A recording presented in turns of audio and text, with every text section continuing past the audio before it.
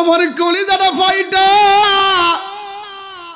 বাঘ বাঘ যেন হইয়া গেছে গো।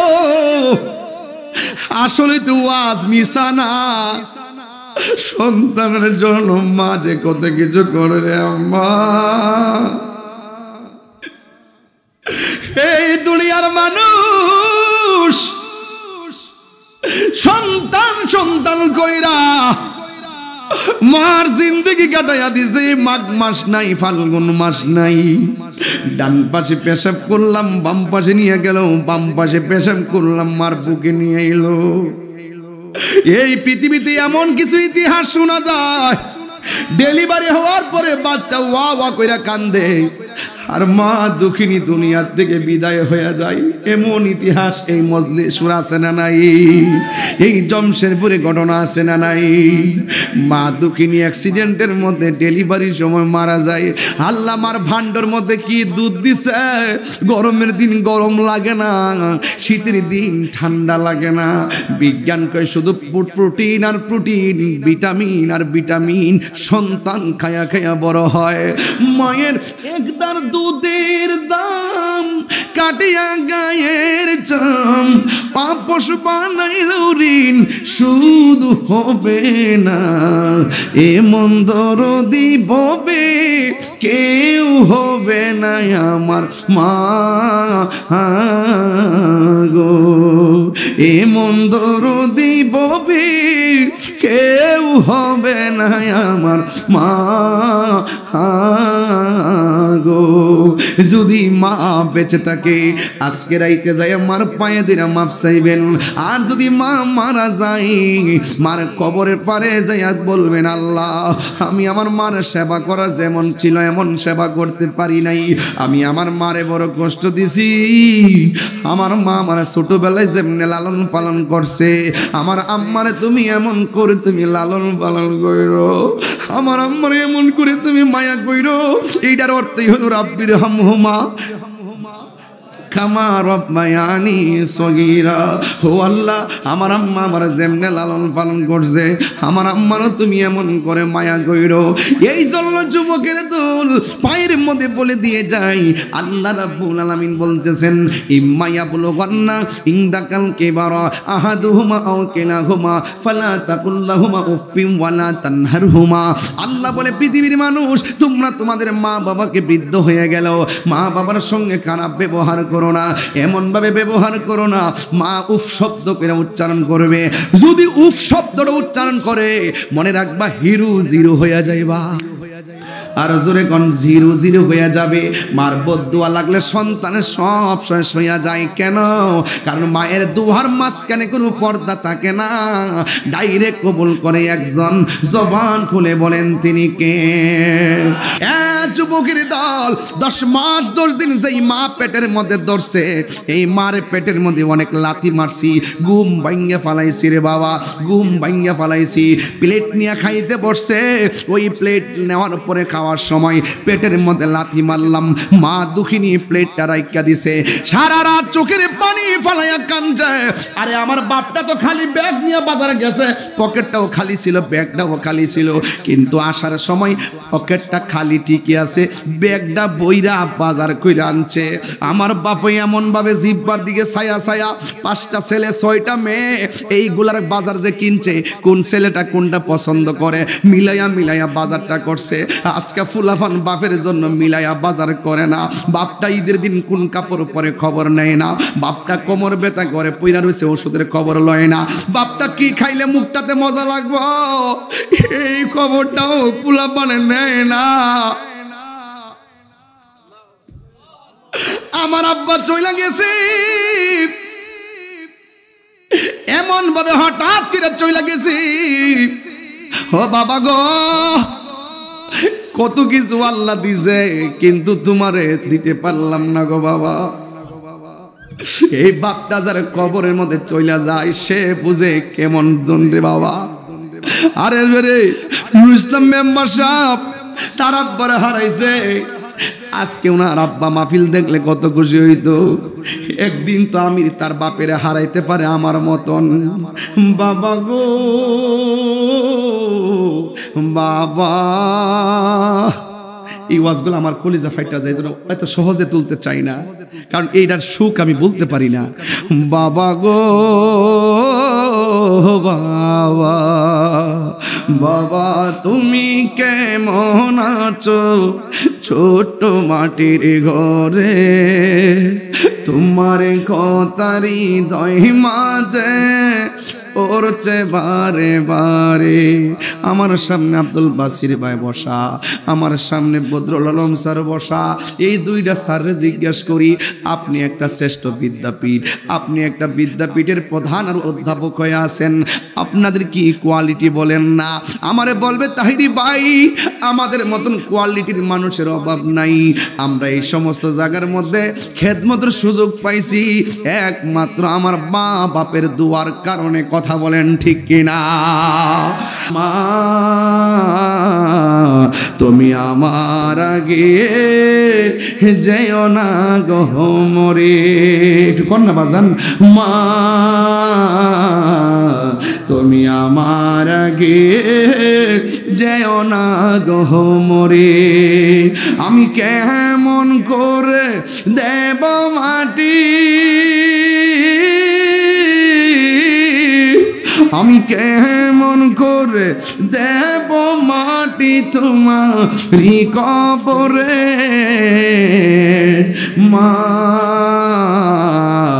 তুমি আমার আগে যেও না গহমরে মাগো, তোমার মতো লই না কে হো আমায় কুলে টানি, মাগো, তোমার মতো লই না কে হো আমায় কুলে টানি, আচল দিয়ে মোচে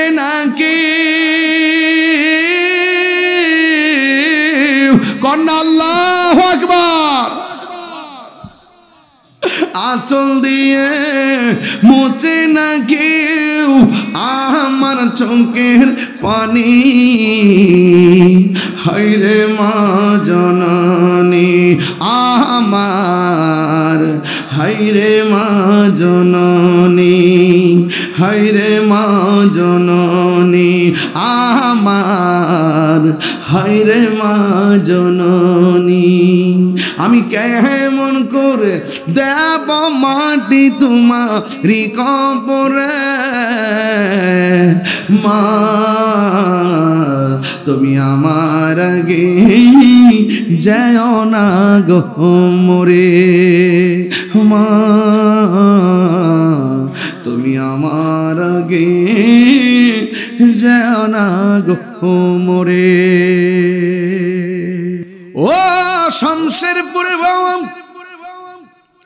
ও জমশেরপুরের বাবা, বারোটা বছর আগে নাকি আমি আইছিলাম। মনে হয় স্টেজটা কোন দিকে ছিল আমি জানি না এইদিকে না এইদিকে জানে। জানি ছিল না না, মনে এইদিকে না, কই ছিল। এই জমশেরপুরের মাহফিলে আমি আসছিলাম। গর্ব করে বলছি, বারো বছর আগে আমি আইছিলাম। হাইরে, বারোটা বছর আগে আমি আইছিলাম। লাইতা সাবা বায়াউদু যদি বারো বছরের আগের দিনটা আবার ফিরা পাইতাম ফিরা পাইতাম। চইলা গেছে চইলা গেছে চইলা গেছে। এই বারোটা বছরে অনেকের বাবা চইলা গেছে। চইলা গেছে রে, চইলা গেছে। এই বারোটা বছরে এই এলাকার বহুত মা কবরে চইলা গেছে। হাত তুলে কোন ঠিক কিনা?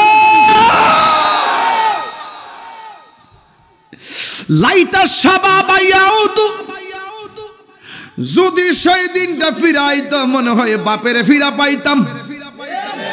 যদি সেই দিনটা ফিরাইতো, মারে ফিরা পাইতাম।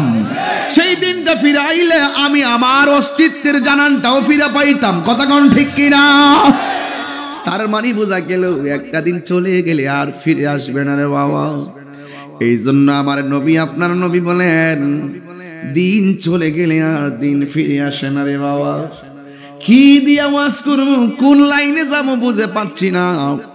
আমার পূর্বের আলোচক কবরের উপর ওয়াজ কইরা গেছি। এরপর আমি যতটুকু বুঝি ততটুকু বইলা বইলা যাই। আপনারা জবান খুলে বলেন, হায়াতের সীমানা কার হাতে?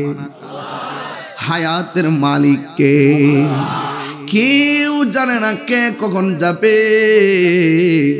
কালকে আমার শাশুড়ি চল্লিশা। দেখছিনি গন্তে গন্তে চল্লিশটা দিন চলে গেছি। কবরে কেমন আছে জানে না। এই জায়গায় তো আমিও কবরে থাকতে পারতাম। দেড় বছর দুই বছর আগে দাওয়াতটা লেখছি। নাকি মির প্রায় দুই বছর আগে দাওয়াতটা লেখছিলাম। যদি আমি তাহিরি চল্লিশ দিন আগে চলে যেতাম, আপনি মনে কইরেন না আমার জন্য জমশেরপুরের মাহফিলটা বন্ধ থাকতো? না না না, আমার জায়গায় আরেকজন চলে আসতো।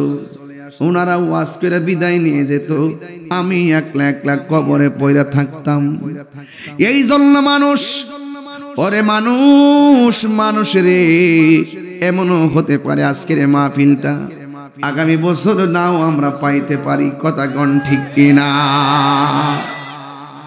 এই এলাকায় তাকাইয়া দেখেন, মাঝে মাঝে কিছু মুরব্বী বসা। মাঝে মাঝে কিছু দাড়ি পাকনাওয়ালা মানুষ বসা। কিন্তু বাবা কেন জানেননি? এখানে কিছু মানুষ আছে বয়স্ক, অসুস্থতার কারণে মাহফিলে আসতে পারে নাই। এই সমাজ থেকে আমরা মুরব্বী শূন্য হয়ে যাচ্ছি। এই জন্য মাহফিলে পোলাপান বেশি দেখা যায়। ও যুবকরারি তোমাদেরকে আজকে লক্ষ্য করে অনেক কথা বলে যাব।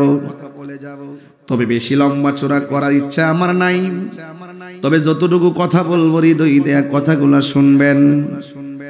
আমার নবী, আপনার নবী বলেন, কেউ যদি দিনে এবং রাইতে বিশ বার যদি মরণের কথা খেয়াল করে আমার আল্লাহ তার মরণটাকে শহীদের খাতায় লিখে দিবে।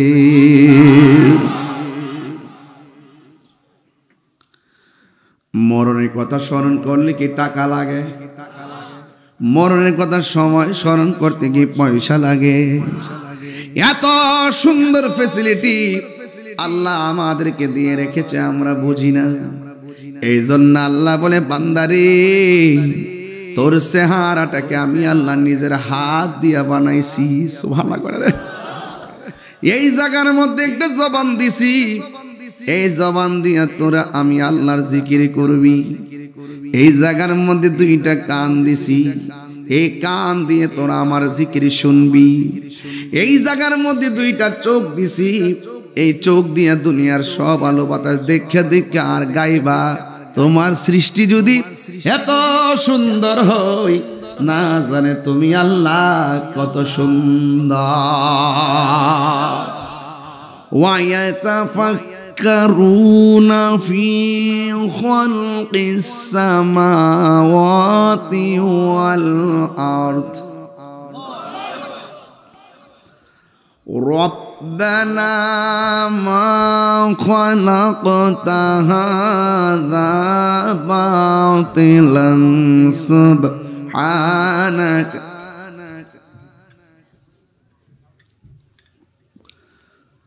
আমার যুবক ভাইয়েরা ওয়াতাফাক্কারুনা ফি খালকিস সামাওয়াতি ওয়াল আরদ এই দুইটা চোখ দিয়ে আমরা আল্লাহকে, আল্লাহর সৃষ্টি জগৎ দেখা দেখে আমার রবকে গবেষণা করব। আপনারা জবান খুলে বলেন, হায়াত মৌতের মালিককে। এ আমার মা, ও মা, গতকাল দিনের বেলা একটা মাহফিল করছিলাম নরসিংদী, রায়পুরা। যে জায়গার মধ্যে প্যান্ডেল করছে, ডানে বাঁশের জার বামে বাঁশের জার। ডাক দিয়া কো ইসলাম বাস রে, তোরে ঠাস ঠাস করে কাটব। আমার বসত বাড়ির জন্য বাড়ির জন্য যেই জায়গার মধ্যে আমি বসত করব চিরদিন। চিরদিন বাঁশ দেখলে বড় ভয় লাগে। এই বাস দিয়ে আমার সাতটা দেওয়া গোবেরে বাজান। এই জন্য যুবক ভাইরা খেলায় খেলায় জীবন ধ্বংস করে দিয়েন না। এখনও সময় আছে, এবাদত করব একজনের জবান খুলে বলেন, তিনি কে? ওয়ামা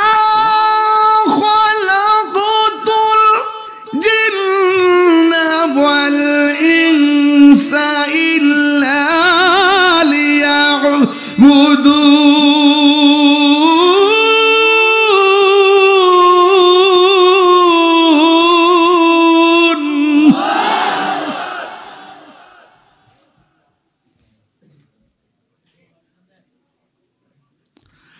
আল্লাহ রাব্বুল আলামিন বলেন, আমি মানুষ এবং জিন জাতিকে সৃষ্টি করেছি। একমাত্র আমি আল্লাহর গোলামি করার জন্যে এই জমিনের মধ্যে সেজদা দিব একজনকে, জবান খুলে বলেন তিনি কে? আল্লাহ ছাড়া কি কাউরে সেজদা করা যাবে? আর জোরে কোন সেজদা করা যাবে? সেজদা বাবার মালিক হলে একজন। ওই মালিকের সেজদা দিলে মালিককে খুশি না বেজার। নামাজ হলো শুধুমাত্র হাজিরা। আল্লাহ বলে, বান্দারে, আমি যে তোরে বানাইছি, তুই যখন সুবহান রাব্বিয়াল আলা বইলা মাথাটা জমিনে ঠেকায় দিবি, আমি আল্লাহ রাব্বুল আলামিন তোর গুনাহগুলা ক্ষমা কইরা তোরে স্মরণ করব। আল্লাহু আকবার। ধীরে ধীরে ধীরে ধীরে ওয়াজগুলা বুঝতে হবে। আমার মা বোনদেরকে লক্ষ্য করে বলি, মা আমি আবাদতের কথা বলছি, আবাদত যদি বুঝতে চান, রাবিয়া বসে জিন্দিগি তালাশ করা লাগবে। রাবিয়া বসে প্রতি রাতের বেলা উজু করতেন, উজু কইরা ইচ্ছে মতো সাজু গুজু করতেন। উজু কইরা, সুন্দর সাজুগুজু কইরা স্বামীর সামনে যাইয়া কবি রজনীতে দাঁড়াইতেন। দাঁড়াইয়া বলতেন, স্বামী গো ও স্বামী, আমি আপনার সামনে দাঁড়াইছি আপনার কিছু বলার আসেনি। স্বামী ডাক দিয়ে কই, না না, আমার কোনো কিছু বলার নাই। এই কথাটা বলার পরে রাবিয়া বশ্রী সোজা কয়ে সুযোগ পাইছি। এবার যাইয়া নামাজের মুসল্লার মধ্যে দাঁড়ায়া যাইতেন। এইভাবে একদিন, দুই দিন, তিন দিন রাবিয়া বসরির চেহারাটা তেমন সুন্দর ছিল না। রাবিয়া বসরির টাকা পয়সাও ছিল না।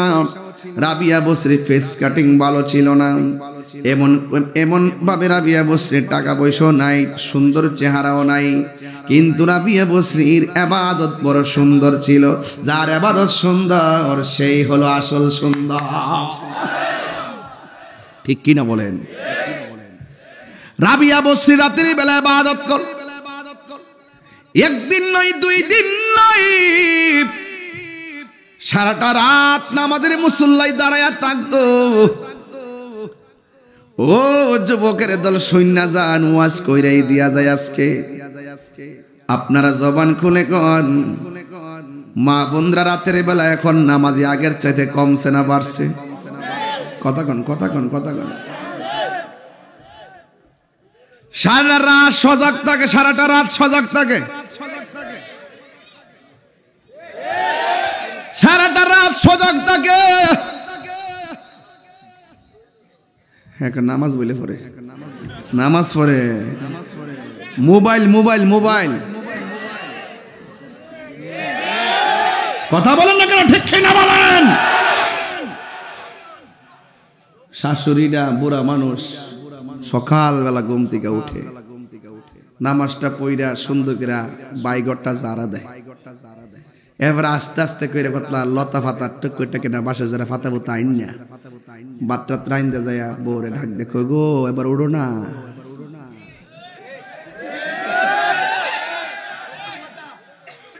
এই যখন অবস্থা কাগজে লিখকে রাখেন, যেই বৌমাটা শাশুড়িরে বৃদ্ধাঙ্গুল দেখায়, এই বউর ঘরে যখন ভবিষ্যতে ছেলে হইব, ওই ছেলের বউ যখন আইব, তখন ওই ওই বেড়ে বৃদ্ধাঙ্গুল না ফাওয়ার আঙ্গুল দেখাইব। কাগজে লিখকে রাখেন কাজে লাগবে কথাগুলো কাজে লাগবে। ঠিক কি না বলেন? খুদার কসম কইরা বলি শতকরা নব্বই পার্সেন্ট সংসারে শ্বশুর শাশুড়ি চোখের পানি ফালায়া দিন কাটা রাত কাটায়। একমাত্র কেন যন্ত্রণায়? ফুত্তারা যেই শখ করে বিয়া করাইছিল এখন আর সেই শখ মিটটা গেছে। লজ্জায় কাহারো কাছে বলেন আপনারা যদি কোনো কথা বলেন আমি ওয়াজ করব না। এই কথাগুলো বাস্তব। আমার কাছে বহুত অভিযোগ আসে এগুলো আমি বিচারও করি। আমি যে ওয়াজ করি না ছোটখাটো একটা সর্দারও। মরিদানের মধ্যে বহুত ঝামেলা হয় হওয়ার পরে যাই যাওয়ার পরে এবারে ফিরে ফুড়ে সব ঠিকঠাক করে দিয়ে যে ফিরে কইব মামা ফের খেতমত লাগতো না আমি তোর সব এটা ফিসাব না এটা ফেসাব এবার ওই আসকর শুভ নামে একটা ছেলে মরিদ করে তুমি দাঁড়াও। শুভ নামে একটা ছেলেটা বায়াত করাইছি। তারে বায়াত করাইতে যাই জিজ্ঞেস করছি তোমার আব্বা আম্মা আছে কিনা? মারহাবা কন। আমার পরিষ্কার কথা আমার পরিষ্কার কথা যে সন্তান তার বাপ মারে বাদ দিত না আমার সামনে যাই কবে যে আব্বা কেমন আছে ভালো আছেন গরুড়া লই ইসলাম। আমি হে ফির না যে গরুড়া রাখিয়া কোন আব্বা আইসো বউ।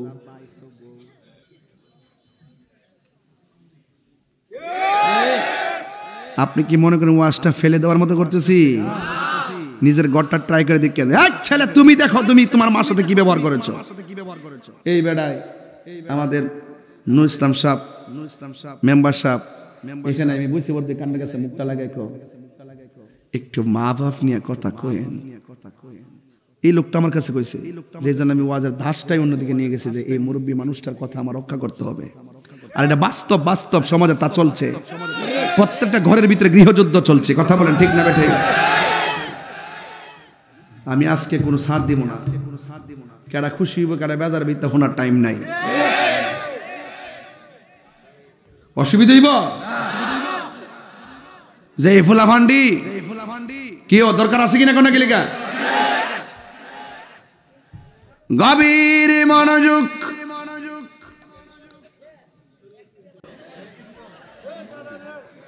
এই আমার যুবক ভাইয়েরা রাবিয়া বশ্রীর কথা বলছিলাম। আপনারা জবান খুলে বলেন রাবিয়া বশ্রী কার পাগল ছিল? আর জোরে কন্যা কার পাগল? ওই আল্লাহর প্রেমে এমন পাগল ছিল সন্ধ্যারাইতি নামাজের মুসল্লায় দাঁড়ায় যাইতেন। ফজরের আজান দেওয়ার পর্যন্ত নফল এবাদত করে কাটাইয়া দিতেন। সুভান রে? এইভাবে যখন রাবিয়া বসরি দিনের পর দিন যখন নামাজ নামাজ করে কাটাইয়া দিছে, আমার নবী যে ইন্তিকাল করেছেন, ওই মুহূর্তে আমার নবী তিনটা কথা বলছিলেন। কথা বলছিলেন আমার মিসওয়াকটা দাও। দুই নম্বর কথা বলছে, আমার ঘরের কোনার মধ্যে কিছু মুদ্রা আছে, এইগুলো দান করে দাও। তিন নম্বর কথা বলছে, সলাৎ সলাৎ সলাৎ। নামাজ নামাজ নামাজ। রাবিয়া বসরি কয়, নামাজের কথা নবী কেন বলছে রে? বুঝেছি, নামাজের ভিতরে আমার নবীরে সালাম না দিলে নামাজ বাতিল হয়ে যা। নামাজের ভিতরে এমপিরে সালাম দিলে নামাজ বাতিল। নামাজের ভিতরে মন্ত্রীর সালাম দিলে নামাজ বাতিল। নামাজের ভিতরে চেয়ারম্যানকে সালাম দিলে নামাজ বাতিল। কিন্তু আমার নবী, আপনার নবীরে সালাম না দিলে নামাজ বাতিল হয়ে যায়। প্রমাণ হয়ে গেল, আমার নবী কাহার মত নয়। কাজে লাগবে। আসসালামু আলাইকা আইয়ুহান নাবিয়্যু। সুবহানাল্লাহ কোন কেন? এবার আমার রাবিয়া সারা রাত কাটাইয়া দিছে। স্বামী একদিনও বাধা দেয় নাই। ইন দি মিন টাইমে স্বামী ওই রাবিয়া বস্তি দেহ ত্যাগ করলেন। যেই মাত্র দেহ ত্যাগ করেছেন, রাবিয়া বস্তি তখন একা হইয়া গেছেন। একা একা মহান রবের জিকিরে শান্তি আছে না না। ওই সময় একজন লোক ছিল, তিনি হলো তাবি। হজরত উমর আল্লাহ তালানহুর খেলাফত কালে তিনি জন্মগ্রহণ করেছেন। আর উসমান জুন্নৌরাইন রাদি আল্লাহ তালানহুর শাহাদতের সময় যুবকটার বয়স ছিল চোদ্দ বছর। চোদ্দ বছর ওই যুবকটা রাবিয়া বসরির কাছে আসলেন। যার নাম হলো হজরত হাসান বসরি। আইসা ডাক দিয়ে বলে, রাবিয়া, আমি তোমারে বিয়ে করতে চাই করতে চাই। আমি আগে বইলা গেছি, রাবিয়া বসের চেহারা ভালো ছিল না ভালো ছিল না। চেহারাটা ছিল কালো। শরীরটা ছিল জীর্ণ শীর্ণ। সম্পদ ভালো ছিল না। এরপরও হাসান বসরি কেন বিয়ের প্রস্তাব দিলেন? এই জায়গার ভিতরে একটা প্রেমের খেলা আছে না না? রাবিয়া বসরি ডাক দিয়া কয়, হাসান বসরি ও হাসান বসরি গো।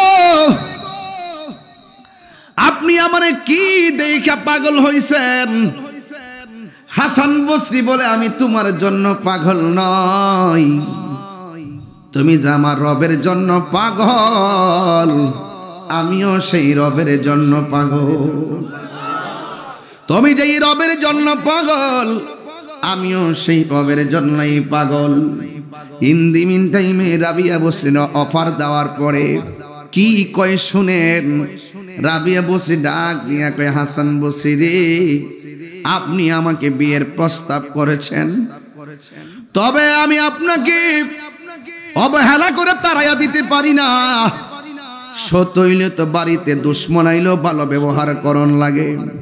নবীর বাড়িতে ইহুদি আসলেও নবীজি তার সঙ্গে ভালো ব্যবহার করতেন, কথা কন ঠিক কিনা? রাবিয়া বসরি ডাক দিয়া বলে, ও হাসান বসরি, আপনি আমাকে বিয়ের প্রস্তাব দিয়েছেন। ঠিক আছে, আমি প্রস্তাব শুনলাম। তবে আমার কয়টা শর্ত আছে? আপনার কাছে আমার চারটা প্রশ্ন আছে। এই চারটা প্রশ্নের উত্তর যদি দিতে পারেন এই জমশেরপুরবাসী যত ভিতরে ঢুকবেন তত হাকিকত খুঁজে পাবেন। ডাক দিয়া বলছে চারটা প্রশ্ন করব কয়টা? এই চারটা প্রশ্নের সাথে আমাদের জীবন। এক নম্বর প্রশ্ন এই চারটা প্রশ্নের উত্তর যদি আপনি দিতে পারেন তাইলে আমি রাবিয়া আপনার বিয়ের প্রস্তাব বিনা শর্তেই মেনে নিব। এর মধ্যে এক নম্বর প্রশ্ন, ও হাসান বসরি, আপনি আমার বিয়ের প্রস্তাব দিয়েছেন। চারটা প্রশ্নের উত্তর দিতে পারলে আমি বিয়ের পিড়িতে বসবো। এর মধ্যে এক নম্বর প্রশ্ন হলো, আপনি আমার বলতে হবে, আমি রাবিয়া কি জান্নাতি না জাহান্নামি? আপনারা জবান খুলে বলেন, প্রশ্নটা এই জান্নাতি আর জাহান্নামি জানে কে? রাবিয়া বসরি বলেন, হাসান বসরি, আপনি আমাকে বলুন না, আমি কি জান্নাতি না জাহান্নামি? হাসান বসরি ডাক দিয়া কয়, আপনি জান্নাতি না জাহান্নামি? আমি বলব কেমনে? রাবিয়া বসরি কয়, জাহান্নামটা কত গভীর জানেননি? কয়, দুনিয়াটা যত বড় এমন সত্তর গুণ বড় একটা পাথর যদি জাহান নামের মুখের মধ্যে ছেড়ে দেয়, ওই পাথরটা জাহান নামের নিচে যাইতে সত্তর হাজার বছর লাগবে। জাহান নামের আগুনের গতি কেমন জানুনি?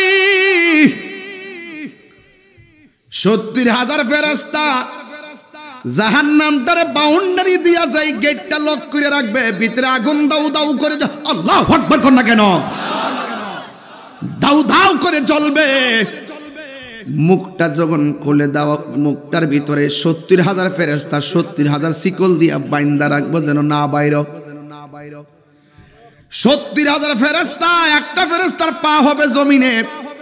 আর মাথাটা হবে আসমানে। এমন সত্তর হাজার শিকল নিয়ে জাহান নামটার গেটটা বাইন্দা রাখতে পারবে না। গেট ভাঙ্গা জিব্বাটা সত্তর হাজার গজ জোরে থাকলেও জাহান নামের আগুনের জিব্বা দিয়া, বাড়ি দিয়া মানুষ পেটের ভিতরে নিয়ে নিব। নাউজুবিল্লাহ গড! এত জাহান নামটা এত কঠিন। আমি রাবিয়া চোখের পানি ফালাই জাহান নামের ভয়ে। এই জন্য আমার চোখের মধ্যে হাসি আনতে পারি না। আর জান্নাতটা এত নিয়ামতের জান্নাত। আমি দাবিয়া যে আমল করেছি, ওই আমল দিয়ে আমি জান্নাতের আশা করতে পারি না। তবে আপনি আমারে বলুন না, আমি জান্নাতি না জাহান্নামি।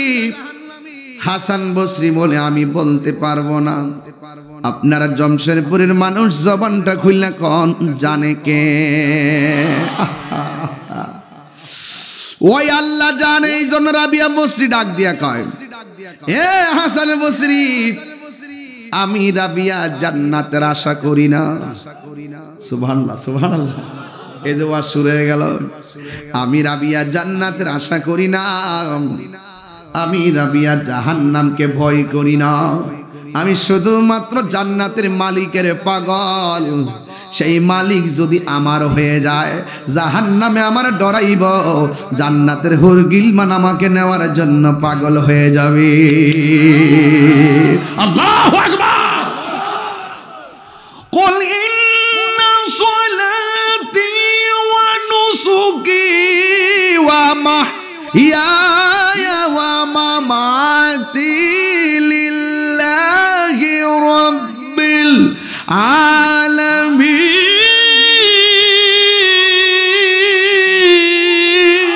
العالمين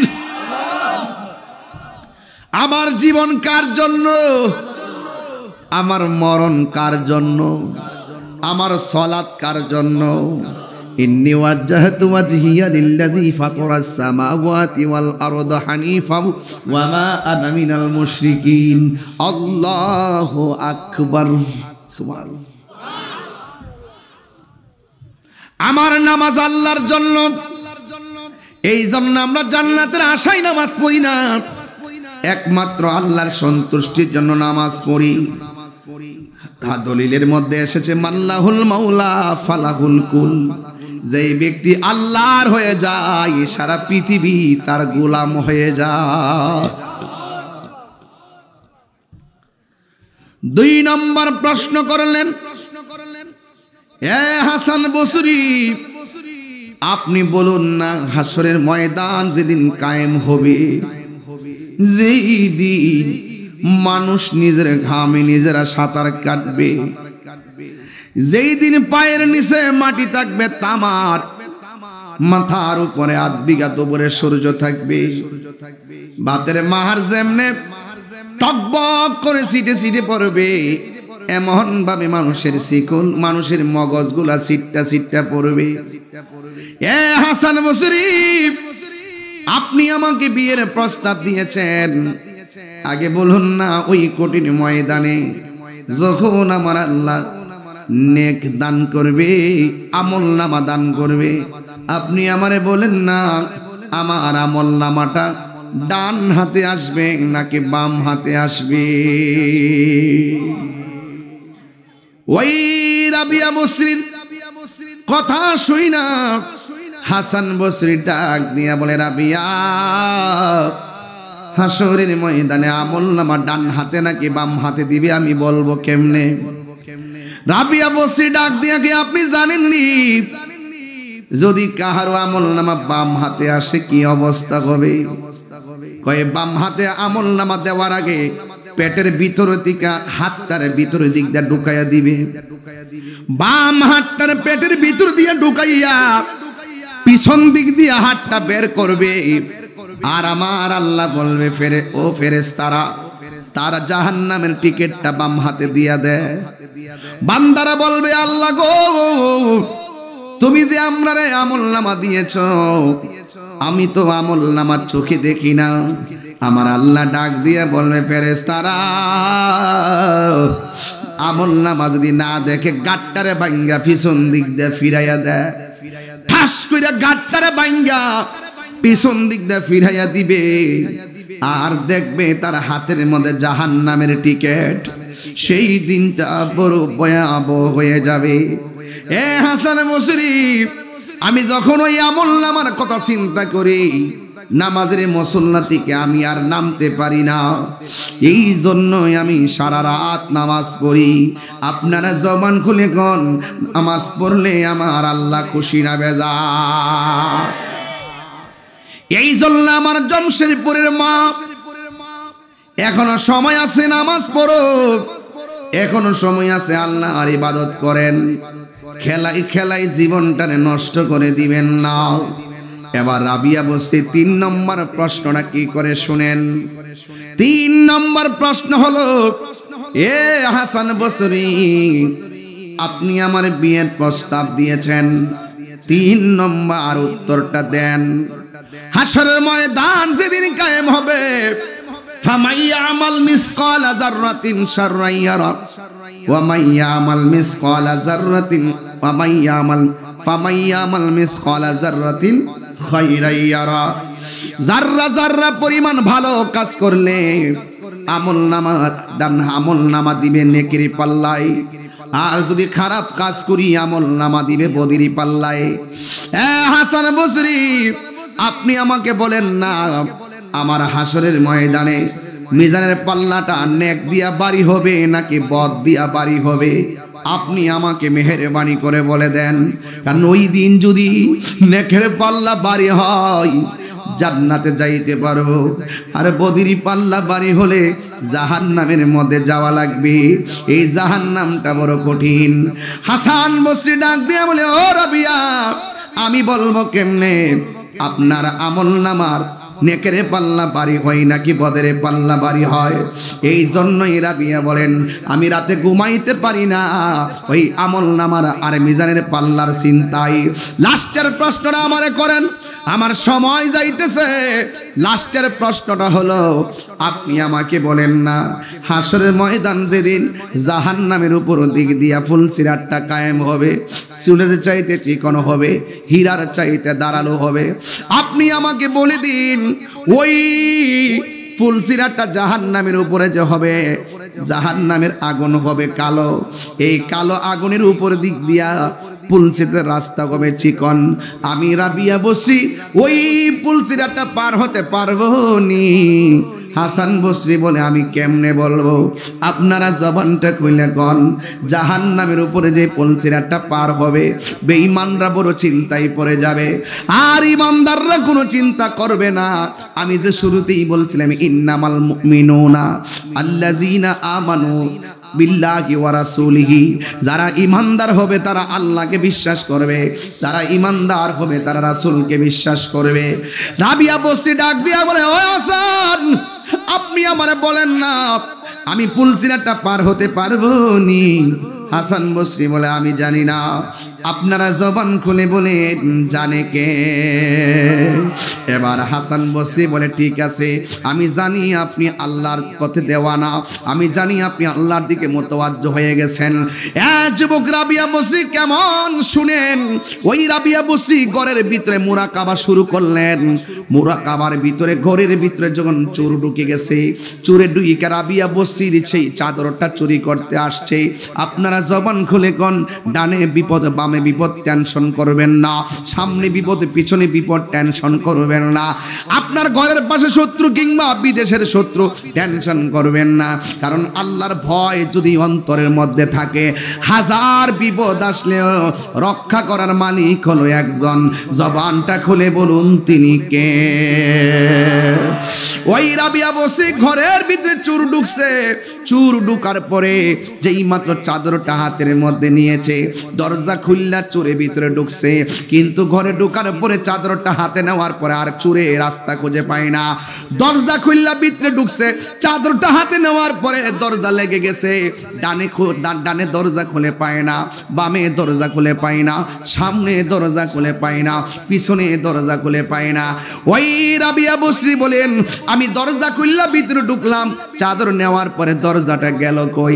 হঠাৎ করে দুইটা লোকে ডাক দিয়া বলে, এক চোর, দাঁড়াও। তুমি তো সাহস তো কম না। তুমি রাবিয়ার বাড়ির চাদর কেমনে হাতে ধরলা? ওই চোর ডাক দিয়া বলে, এ, তোমরা কে? দিনের বেলা থেকে এই পর্যন্ত সারাদিন বাড়ি ঘরে দেখলাম, কোনো মানুষ দেখলাম না। রাতের বেলা দেখলাম ঘরে কেউ নাই। কিন্তু আমি ঘরে ঢোকার পরে তোমাদের আওয়াজটা কোথায় থেকে আসলো? ওই মুহূর্তে দুইটা লোক ডাক দিয়া বলেন, আমরা দুনিয়ার কোনো মানুষ না। আমার আল্লাহ আমাদের দুইজনকে রাবিয়ার বাড়ির পাহারাদার বানায়া দিছে।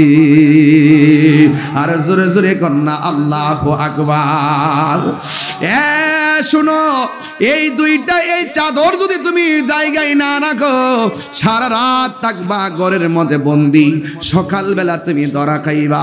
আপনারা জবান খুলে বলেন, আল্লাহর ধরা কি শক্ত, নরম না শক্ত? আল্লাহ রাব্বুল আলামিন ধরা অনেক শক্ত।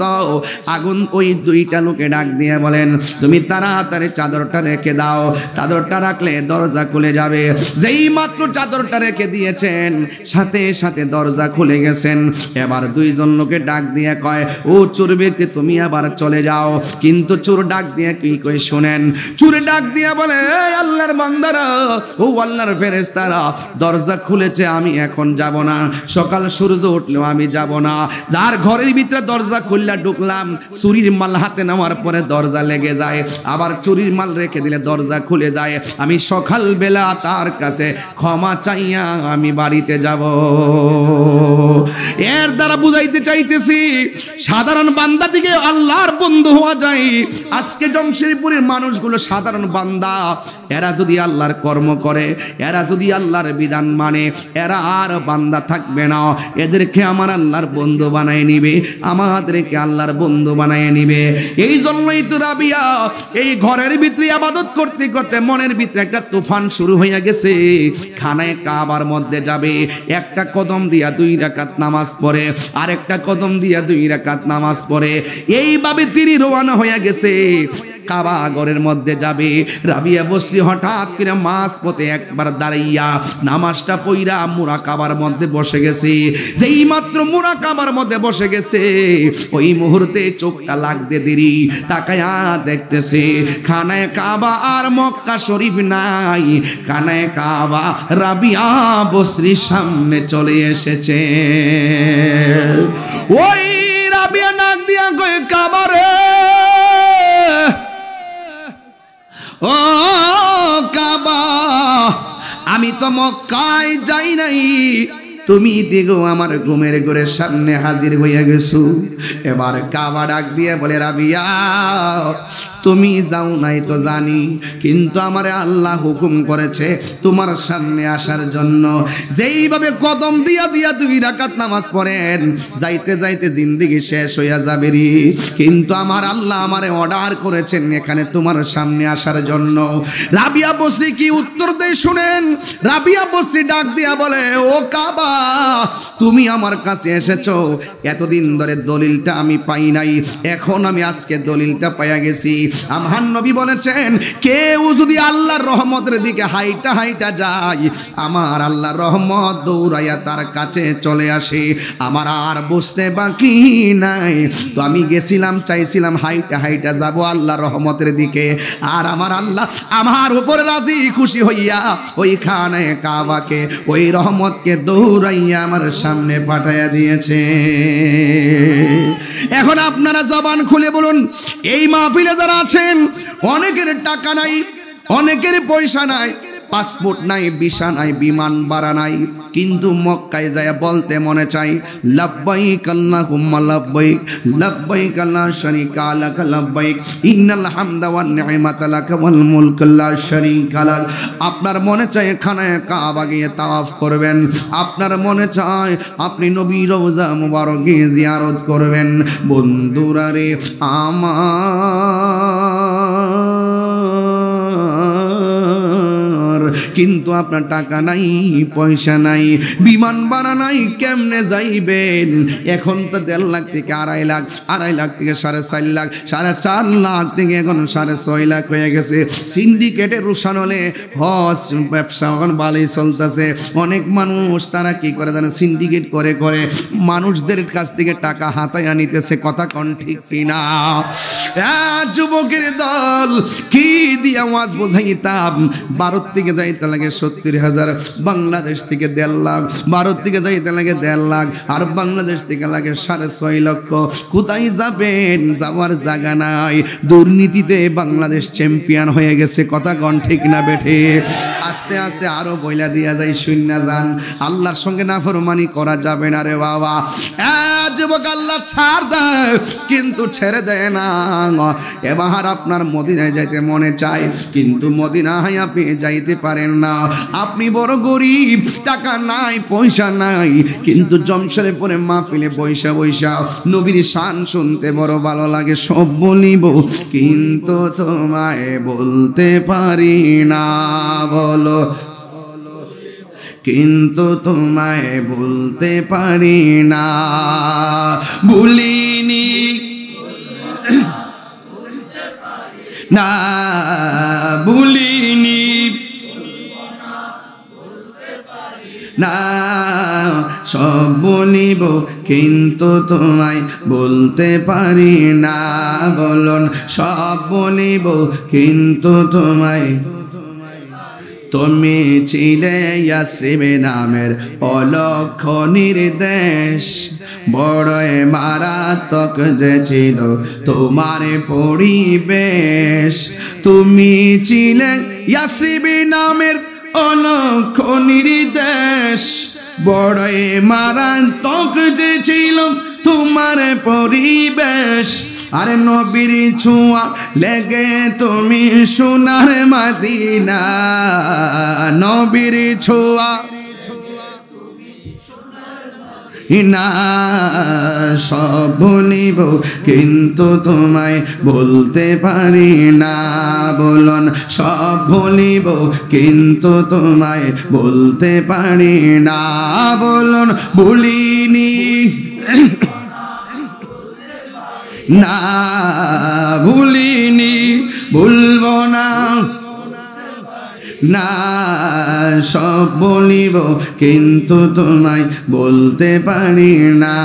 বলো, মাদিনা আমার জান, মাদিনা আমার পান মদিনাতে আছে আমার জানের জান, মদিনাতে আছে আমার জানের জান। ঠিক না হাই দল যুবক। আমি বলছিলাম, খানায় কাবার কথা, যাইতে মনে চাই মদিনা। কথা কন, ঠিক কিনা? এখন যাই শুরু করলাম। শুধু বোঝাইবার জন্য বলছি, মদিনায় যাওয়ার জন্য কত পাগল, কিন্তু কি নাই মাফি ফুলুস? কি নাই? টাকা আছে? না ফুলুস নাই। ও বন্ধুরে, টাকা নাই যাইবা কেমনে? এই জন্যই তা আমার নবী বলে দিয়েছেন, বাবাকে তোমরা কাবা জানিও। ওয়াজটা বুঝতেছেন তো কোন জায়গায় আসছি? এতক্ষণ কিন্তু বুঝাই এখানে আনলাম যে দেখেন, রহমতের দিকে দৌড়লে আল্লাহ রহমত দৌড়া দেয়। কথা কন, ঠিক না বাবাকে তোমরা কাবা জানিও, মাদিনা জানিও মাকে। যদি গো তারা বেঁচে থাকে, কন্যা, বাবাকে তোমরা ইয় মাদিনা জানিয়া মাকে। যদি ঘ তারা বেঁচে থাকে, ওই আমি সেবি নাই, সেবিতে পারি নাই, ওই আমি সেবিতে পারি নাই সেবি আমার উম্মত সেবি আমার উম্মত। সেবি আমার উম্মত। এ বাবার মুখেতে, মায়ের মুখেতে যে তুলে দিবে গো খানা, তাতে খুশি রব্বানা। ওই আমি দেখি নাই দেখিতে পারি নাই ওই আমি দেখি নাই, দেখিতে পারি নাই দেখি আমার উম্মত দেখি আমার উম্মত দেখি আমার একটা জবানও বন্ধ রাখবেন না, মহব্বতে মায়ার সুরে বলুন আল্লাহ আকবার। আমি বলছিলাম, মদিনা যাইতে মনে চাই। আমার নবী তো জানে, এমন একটা সময় আসবে, আমার উম্মত আমার জন্য পাগল হয়ে যাবে। কিন্তু তাদের স্বাদ আছে, কিন্তু সাধ্য নাও হতে পারে। এই জন্য আমার নবী আপনার নবী ঘরে ঘরে মক্কা, মদিনা বানায়া দিছে। আমার নবী, আপনার নবী বলেন, পৃথিবীর মধ্যে কোনো সন্তান যদি মা বাবার চেহারার দিকে নেক নজরে তাকায়, আমার আল্লাহ তার আমল নামাই কবুল হজের সওয়াব দিয়ে দিবি। আর বড় করে বলেন না, আল্লাহ আকবার। এই জন্য যুবক, জীবনে যদি কোনো বড় ধরনের গুণা করে থাকেন, মার কদমে যায় বলবেন, আম্মা, আমি এই গুণাটা করছি। আপনি একটু আল্লাহরে কই না, আমার জন্য মাফ করে দে। আমি নিজেও আল্লাহরে ডাকতেছি। আল্লাহ যেন আমার মাফ করে দে। তার একটা হাদিস আমি আপনাদের সামনে না পড়লে নাই হবে। অনেকে বলবে, আমি কিচ্ছা কাহিনী কইয়া যাইতেছি। কিন্তু দেখেন, বারো চোদ্দ লাইনের একটা হাদিস কইয়া দিয়া যায়। আন আতাই ইবনে ইয়াসারিন, আন ইবনে আব্বাসিন রাদিয়াল্লাহু তাআলা আনহু, হযরত আব্দুল্লাহ ইবনে আব্বাস রাদিয়াল্লাহু তাআলা আনহু থেকে বর্ণিত, আন্নাহু আতাহু রাজুলুন। আব্দুল্লাহ ইবনে আব্বাস বলেন একটা মানুষ আমার কাছে আসছে। আয়েশা বলতেছে, কি জানেননি? কয়, ইন্নি খতাবতু ইমরাআতান। আমি একটা মেয়ের বিয়ের প্রস্তাব দিয়েছিলাম। আমি একটা মহিলা মেয়েটারে বিয়ের প্রস্তাব দিয়েছিলাম। ফা আবাদ আনতান কিহানি এই মেয়েটা আমাকে বিয়ে করতে প্রত্যাখ্যান করল। এই মেয়েটা আমার প্রস্তাবকে প্রত্যাখ্যান করল।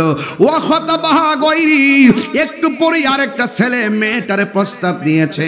ফা আহাব্বাত কি? ফা আহাব্বাত আনতান কিহাহু এই মেয়েটার প্রস্তাবটা পছন্দ করলেন। শুধুমাত্র তাই নয়, ওই ছেলেটার সাথে মেয়েটার বিয়ে হয়ে গেল।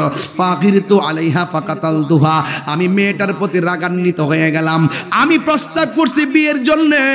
আমার প্রতি রাজি হইল না। আর একটা ছেলে প্রস্তাব দিয়েছে। ওর প্রস্তাবে মেয়েটা রাজি হয়ে গেল।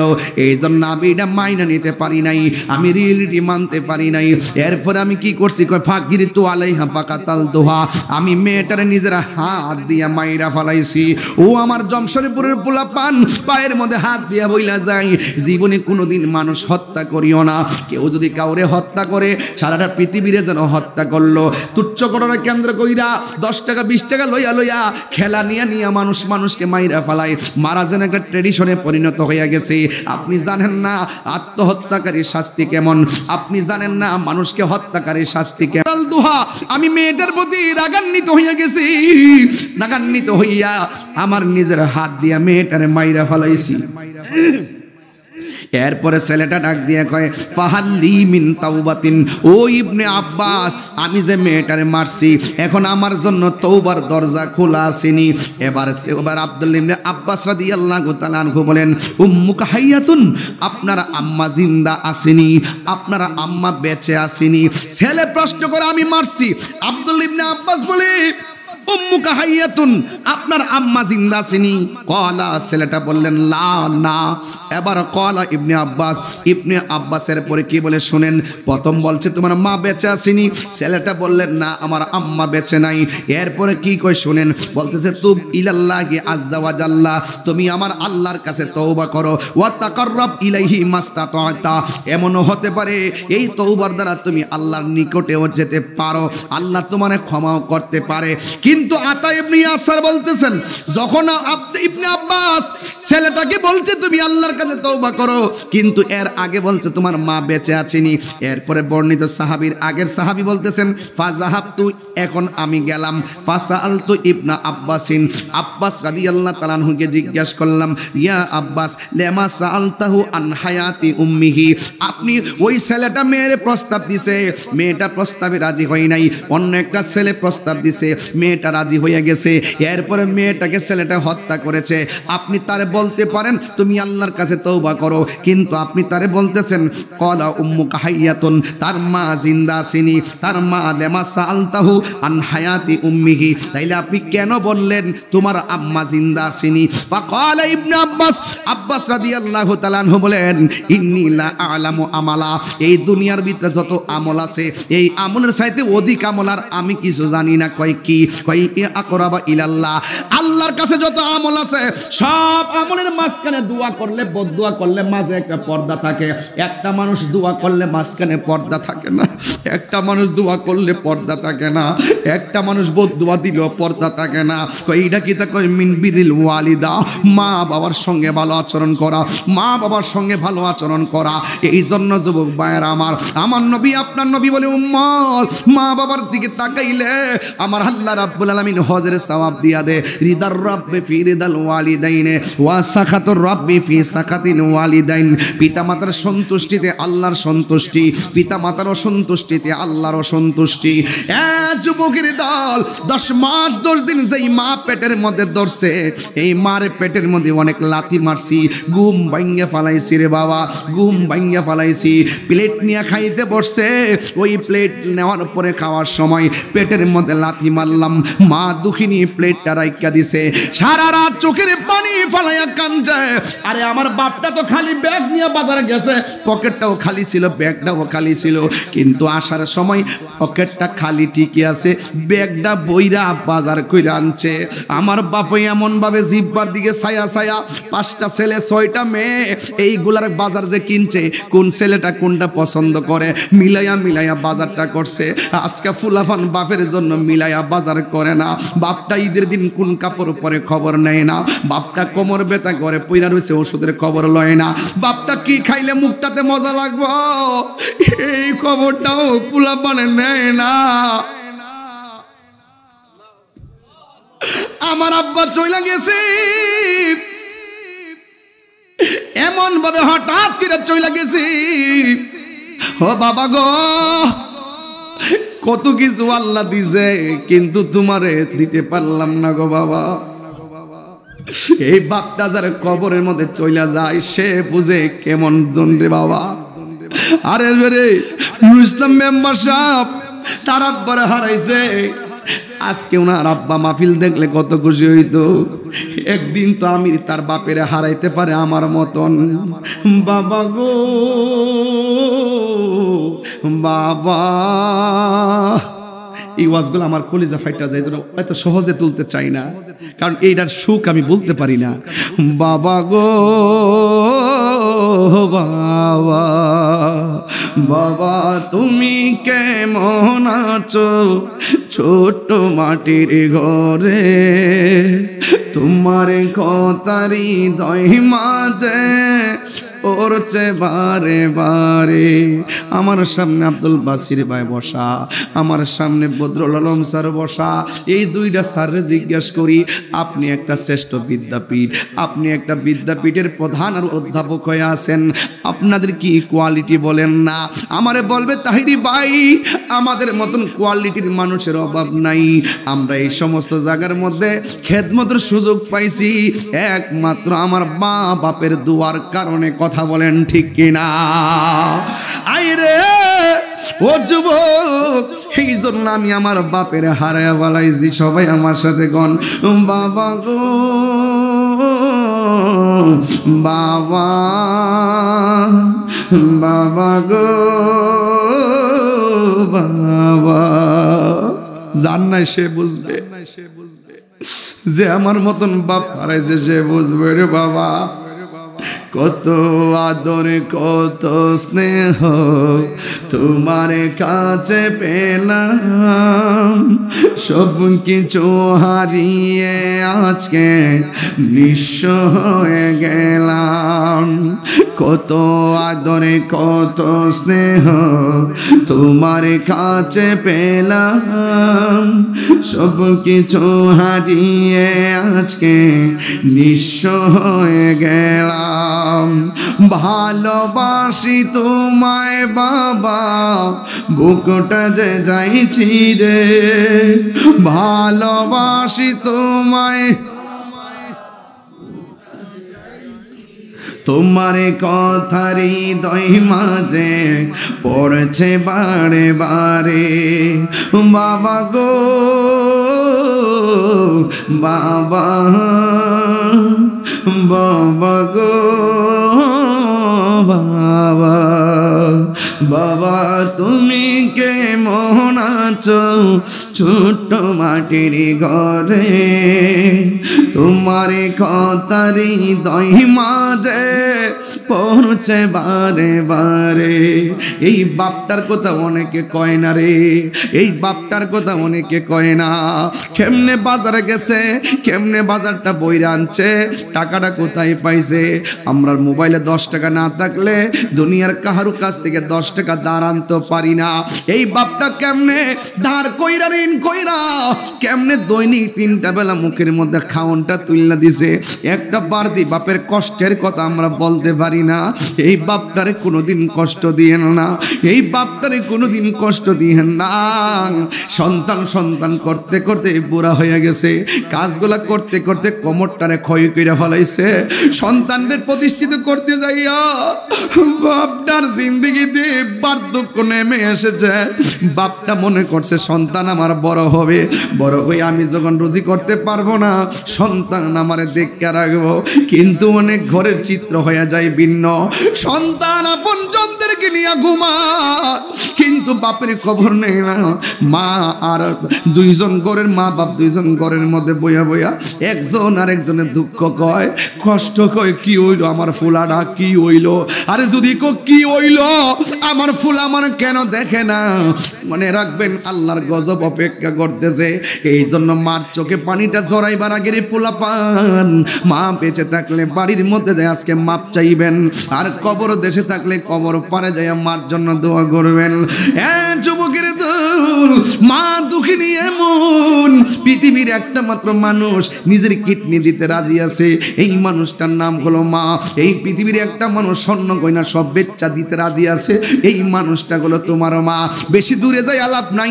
আমার বাড়িতে আমার চাচাতো ভাই নাম হলো জুয়েল অনলাইনে শুনব কথাটা। তার মেয়ের একটা কিডনি নাই, মেয়ের দুইটা কিডনি নাই। এবার বাংলাদেশের মধ্যে কিডনি পায়, পয়েন্ট মিলে না। অনেক খোঁজাখুঁজি করার পর পাই নাই। আমার চাচাতো ভাই আমার বাড়ির পাশে, ঘরের পাশে ঘর। এতদিন মনে করতাম বুঝি কাল্পনিক। এখন দেখতেছি আসলে কথা সত্য। মা মা ওই, মা মা ওই। মার মতো আর কেউ আপন হবে না। মা যার বেঁচে নেই, তার মতো দুঃখী নাই। খালা ফুফু মায়ের মতো না। মা গ জান্নাতের চাবি আমার মা। ওই বাইটা যখন চলে গেছে বাংলাদেশ থেকে বাইরে, ওই মাদ্রাসা যাইয়া চিকিৎসা কইরা বাড়ির মধ্যে আসছে। আমি যে গেলাম বাইরে, কিডনি পাইছেননি। তখন আমার কই বাংলাদেশে পাই নাই, এবার ইন্ডিয়াতে পাইছেননি। কই না, সেখানেও পাই নাই। এখন যে গেলাম কোথায় থেকে পাইছেন? কোন রাষ্ট্র থেকে আনছেন? আমারে ডাক দিয়ে বলে, মা, তার মা, তার নিজের কিডনিটা, তার মেয়ের আমার কলিজাটা ফাইটা। বাঘ বাঘ যেন হইয়া গেছে গো। আসলে তো আজ মিশা না। সন্তানের জন্য মা যে কত কিছু করে রে আম্মা। এই দুনিয়ার মানুষ, সন্তান সন্তান কইরা মার জিন্দগি কাটাইয়া দিছে, মাঘ মাস নাই, ফাল্গুন মাস নাই। ডান পাশে পেশাব করলাম, বাম পাশে নিয়ে গেল, বাম পাশে পেশাব করলাম, মার বুকে নিয়ে এলো। এই পৃথিবীতে এমন কিছু ইতিহাস শোনা যায়, ডেলিভারি হওয়ার পরে বাচ্চা ওয়া ওয়া কইরা কান্দে। আর মা দুঃখিনী দুনিয়ার থেকে বিদায় হয়ে যায়। এমন ইতিহাস এই মজলি সুর আছে না নাই? এই জমশেরপুরে ঘটনা আছে না নাই? মা দুঃখিনী অ্যাক্সিডেন্টের মধ্যে ডেলিভারির সময় মারা যায়। আল্লাহ মার ভান্ডর মধ্যে কি দুধ দিছে? গরমের দিন গরম লাগে না, শীতের দিন ঠান্ডা লাগে না। বিজ্ঞান কয় শুধু প্রোটিন আর প্রোটিন, ভিটামিন আর ভিটামিন। সন্তান খায়া খায়া বড় হয়। মায়ের একদার দুধের দাম, কাটিয়া গায়ের চাম। পাপস বানাইল ঋণ, সুদ হবে না। এ মন্দর দিববে, কেউ হবে না আমার মা গো। এ মন্দর দিববে, কেউ হবে না আমার মা গো যদি মা বেঁচে থাকে, আজকে রাইতে যায় মার পায়ে দিনা মাপ চাইবেন। আর যদি মা মারা যায়, মার কবরের পারে যাইয়া বলবেন, আল্লাহ, আমি আমার মার সেবা করা যেমন ছিল, এমন সেবা করতে পারি নাই। আমি আমার মারে বড় কষ্ট দিছি। আমার মা আমার ছোটবেলায় যেমনি লালন পালন করছে, আমার আম্মারে তুমি এমন করে তুমি লালন পালন করো। আমার আম্মারে এমন করে তুমি মায়া কইরো এইটার অর্থই হলো রাব্বির হামহুমা। খামা রব্বায়ানি সগীরা। ও আল্লাহ, আমার আম্মা আমার যেমনে লালন পালন করছে, আমার আম্মারও তুমি এমন করে মায়া কইরো। এই জন্য যুবকের দোল পায়ের মধ্যে বলে দিয়ে যাই। আল্লাহ রাব্বুল আলামিন বলতেছেন ইম্মাইয়া বলো গন্না ইংদাকাল কেবারা, আহাদুহুমা আও কিলাহুমা, ফালা তাকুল্লাহুমা উফিম ওয়ালা তানহারহুমা। আল্লাহ বলে, পৃথিবীর মানুষ, তোমরা তোমাদের মা বাবাকে বৃদ্ধ হয়ে গেল। মা বাবার সঙ্গে খারাপ ব্যবহার করো না, এমনভাবে ব্যবহার করো না। মা উফ শব্দ করে উচ্চারণ করবে। যদি উফ শব্দটা উচ্চারণ করে, মনে রাখবা হিরু জিরো হয়ে যাইবা। আর জোরে কন জিরো জিরো হয়ে যাবে। মার বদুয়া লাগলে সন্তানের সব শেষ হইয়া যায়। কেন? কারণ মায়ের দুহার মাঝখানে কোনো পর্দা থাকে না। ডাইরেক্ট কবুল করে একজন জবান খুলে বলেন, তিনি কে? মার দুয়া এমন, মা ডাক দিয়া কয় ফুত্রে ও ফুত একটু জানালাটা বন্ধ করে দে। এবার পোলা গেছে জানালা বন্ধ। এক মনোযোগ দেন। পোলা গেছে জানালা বন্ধ করে দেওয়ার জন্য। এবার মা একটু ছেলেরে বলছে, বাবা, জানালাটা বন্ধ করে দে। এবার পোলা যে এইমাত্র জানালাটার কাছে গেল, মা তখন বাম কাত থেকে ডান কাত একটু গুইরা গেছে। যে এইমাত্র গুইরা গেছে, সন্তান মনে মনে ভাবতেছে, মারে যদি ডাক দিয়া বলি, আম্মা, জানালা কোন পাটটা লাগাইতাম? মা বাম কাত থেকে ডান কাতে আইসা বলতে হবে, এটা লাগা, ওইটা লাগা। তাইলে মার আরামটা ভাঙবে। সন্তান মারে ডাক দেয় নাই। কিছুক্ষণ পর মার চোখের মধ্যে ঘুম এসে গেছে। এবার সন্তান ডাক দেয় নাই। এবার ঘুমের ঘরে ডাক না দিয়া দাঁড়াইয়া রয়েছে এবার দাঁড়াইয়া থাকার পরে ইন্দি মিন টাইমে সারা রাতের বেলা একবার ডান পাশের দরজার পাটটা লাগায় আর একবার বাম পাশের পাটটা লাগায় আর একবার দুইটা লাগায়। এইগুলা করতে করতে সারাটা রাত কাটায় দেওয়ার পরে মসজিদের মধ্যে আজান হয়ে গেছে। যেই মাত্র ফজরের নামাজ আজান হয়েছে, মা দুঃখিনী ঘুম থেকে উঠেছে। ঘুম থেকে ওইটা দেখে, তার সন্তান সন্ধ্যা ভেলাই। ওই যে বলছিল, বাবা রে, জানালাটা লাগাইয়া দে, জানালাটা লাগাইতে যাইয়া সেখানে দাঁড়াইয়া রইছে। মা ডাক দিয়া কয়ে, বাবা গো ও বাবা, আমি তোমার সন্ধ্যা রাইতে বলছি, দরজাটা লাগাইবার জন্য। সন্ধ্যা রাইতে বলছি, জানালাটা লাগাইবার জন্য। সন্তান ডাক দিয়া বলে, মা, আপনি তো আমারে কোন পাটটা লাগাইতাম বলেন নাই, নাকি দুইটা পাট লাগাইতাম বলেন নাই। এই জন্য আমি সারাটা রাত আমি যখন জানালা লাগাইতাম গেলাম, আপনি ডান কাত থেকে বাম কাতে গেলেন। আপনার ডাক দিলে আপনার আরাম ভাঙবে। কিছুক্ষণ পরে আপনি ঘুমাইয়া গেছেন। ঘুমের করে ডাক দিলে আপনি কষ্ট পাবেন। আপনি কষ্ট পেলে আমার আল্লাহ কষ্ট পাবে। হৃদর রাব্বি ফি হৃদাল ওয়ালিদাইনে, ওয়া সাকাতুর রাব্বি ফি সাকাতিল ওয়ালিদ। মা বাবার সন্তুষ্টিতে আল্লাহ সন্তুষ্টি মা বাবা কষ্ট পাইলে আল্লাহ কষ্ট পায়। সন্তানকে মা ডাক দিয়ে কয়, বাবা, তুমি কেন ঘুমাইলা না গো? ওই সন্তান ডাক দিয়া বলে, আম্মা, আপনি আমার জানালা লাগাইতে বলছেন। ডানটা লাগাবো নাকি বামটা লাগাবো? আপনি তো আমার এটা বলেন নাই।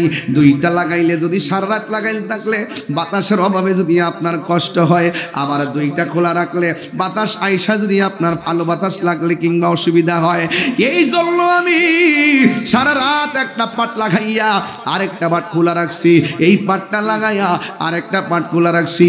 তখন মা দক্ষিণী চোখের পানি ফালাইয়া ফালাইয়া উজু কইরা নামাজের মসল্লাটা লইয়া দুই রাকাত নামাজ পইরা আমার আল্লাহরে ডাক দিয়া কই আল্লাহ আল্লাহ গো, ও আল্লাহ, আমার জাদুমণি আমারে ঘুমের ঘরের মধ্যে রাইগা, আমারে ডাক দেই নাই, আমার কষ্ট হবে দেখে আমরা ডাক দেই নাই।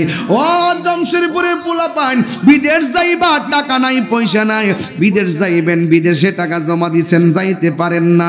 শুধুমাত্র মার কদমে পয়রা থাকেন। দেখেন ওয়াশটা কি করতেছে। শুধুমাত্র মার কদমে পয়রা থাকেন। মা যখন তাহার যদি নামাজটা পয়রা যখন আল্লাহর কাছে বলবে, ও আল্লাহ, আমার পুলাডারে এমন টাকার মালিক বানাইয়া দিও, যেন আমার জাদুমণি ওই মদিনায় যাইয়া আমার নবীরে সালাতু সালাম দিতে পারে। মা, যখন এমন ভাবে দোয়া করব, মার দোয়ার মাঝখানে কোনো পর্দা থাকবে না রে বাবা।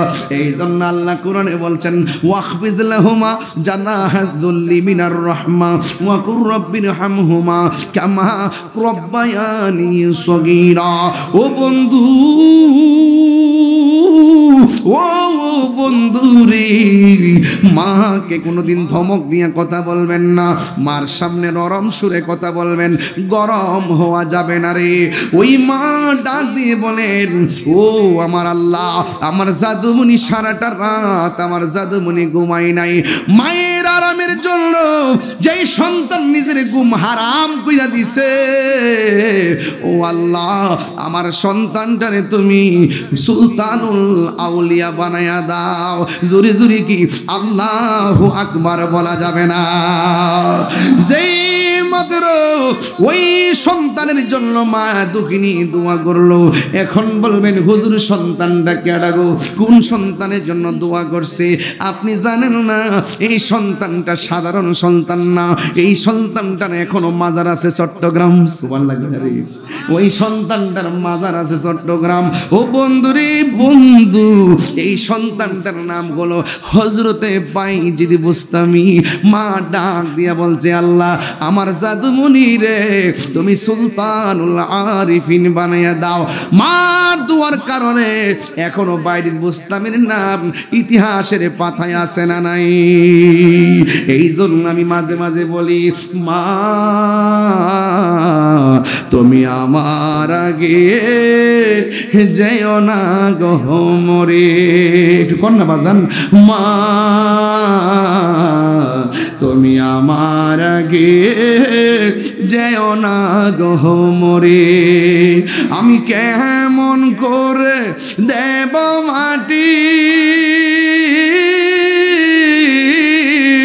আমি কেমন করে দেব মাটি তোমারি কবরে?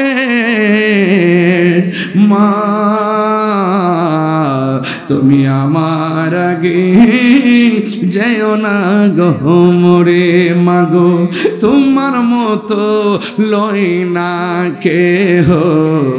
আমায় কুলে টানি মাগো, তোমার মতো লই না কেহ। আমায় কুলে টানি, আচল দিয়ে মোচে নাকি? কন্যা আল্লাহ আকবার আচল দিয়ে মুছে না কেউ আমার চোখের পানি। হাইরে মা জননী আমার হাইরে মা জননী হাইরে মা জননী আমার হাইরে মা জননী। আমি কেমন করে দেব মাটি তোমারি কবরে। মা, তুমি আমার আগে যেও না গো মরে। মা, তুমি আমার আগে যেও না গো মরে। যুবক আপনাকে বলছি আজকে থেকে ওয়াদা করেন। এই বুড়া বাপটারে চোখের পানি ফেলে কাঁদাবেন না। রাজি আছেন? এই রাজি আছেন? হাত তুলে বলে রাজি আছেন? সবাই রাজি আছেন ইনশাল্লাহ? আল্লাহ যেন আপনাদের সকলকে কবুল করে বলুন আমিন। আর জবান খুলে বলেন আমিন। কার কার বাবা নাই হাত তোলেন। আমার মতন যারা বাবা হারাইছেন হাত তোলেন। আহা। হাত নামান। কারা কারা মা হারাইছেন, হাত তোলেন। আল্লাহ যাদের মা কবরে চলে গেছে, এই কবরটাকে জান্নাতের বাগান বানায় দেন। একটু দিলটা নরম করে কোন আমিন। যাদের মা কবরে চলে গেছে, মার কবরটাকে আপনি জান্নাতের বাগান বানায় দেন। আমিন কন। সেই মা বাবার কবরের আজাব মাফের লক্ষ্যে ওই মালিকের জিকির একটু করতে পারবেন ইনশাল্লাহ। আজকের জিকিরটা আমার মা বাপের কদমে উৎসর্গ করলাম মারহাবা কন।